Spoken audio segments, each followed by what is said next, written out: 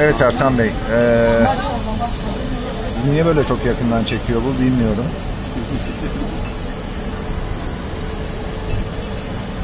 Futbolumuzda bu e, en son yaşanan Galatasaray'ın 11 yabancıyla çıkıp 6-0'dı değil mi? 7 değil. 6-0 e, yenilmesi. Ondan sonra hatta belki şu gidişle şampiyonumuzun ön eleme maçı oynayarak Şampiyonlar Ligi'ne gitmesi hakkında düşünceleriniz nedir? Türk futbolu bitmiş vaziyette. Kapatıyorum o zaman.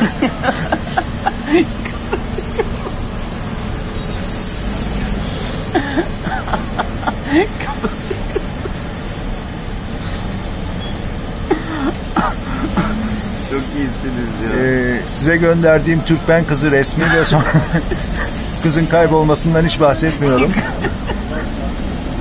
Kızın kızın kaybolmasıyla ilgili en ufak bir bilgim yok. İftira mı? Benle ilgili bir durum söz konusu değil. Ama sanki çok çekici buldunuz. Yo öyle bir şey demedim ki ben. Sonuçta bekarsınız. Tamam bekar olmam kızın kaybolmasıyla alakalı olduğum anlamına gelmez.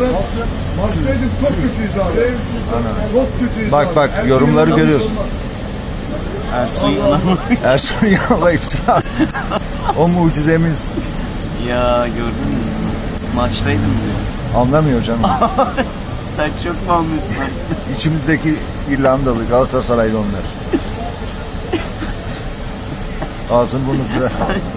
Seni ne yapar biliyor musun? Sallar valla. Hiçbir şey yapamaz. benim, benim gibi adam. Buraları benim sayılır.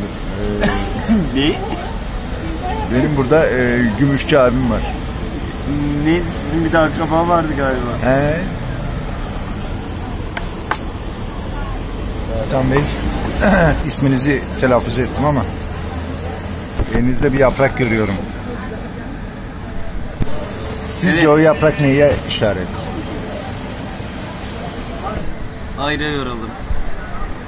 Hayır olsun ama tek bu saatten sonra da hayır olacağını zannetmiyorum açıkçası. Herhalde yolun sonuna doğru yaklaştığımızın bir habercisi. Bu kadar umutsuz ve kötü. Yani bilmiyorum. Parasızlıktan intihar eden gençleri mi örnek e, şey yapacağınız? Yoksa İşte en son çare olarak görebileceğim öyle bir durumda biri var. Hayır arkadaşım ben intihar, intihar konusuna girmek istemiştim ama Artık onu onu kafalayıp hayatımızı idame ettirmeye çalışırız. kimdir o biraz? Şimdi isim verirsem Evet. çok e, ciddi anlamda kendime ele vermiş olurum, deşifre olmuş olurum. Ama şöyle söyleyeyim, ben hiç tabii de biraz e, ne derler? Müdaverdi diye bir karakter vardı. Müdaverdiye benziyor. Siz mi? O ha pardon o. Aynen. Müdaverdi karakteri var. Ha, erkek yani kendisi. Erkeğe benziyor. Erkek değil de böyle bir tane bere tak, gözlüğü zaten var. ben hatta biraz birazdan size göstereceğim o karakteri. Aynısı diyeceksiniz. Yok tahmin edebiliyorum. Ben kendisine de söylemiştim çünkü bunu. Kendisi de biliyor yani. Aynen tamam. kendisi Sorun biliyor. yok. Tam komediydi ama. Ne güzel işte evleneceğin insana e, böylesine komik yaklaşmak. Ama, ama gönlüme hiç hitap eden biri değil. Çok iyi biri.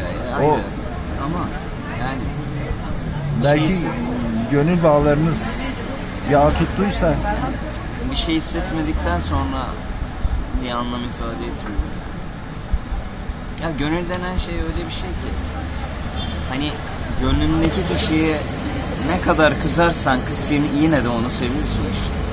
Bu öyle bir olay değil. Anlatabiliyor muyum? anladım. Gönlündeki kişiye istediğin kadar kızsan da etsen de yine de seviyorsun. Şöyle bir de Suna yakın gibi bir hikaye alalım. Bakın bakın ne anlatacağım. bakın bakın.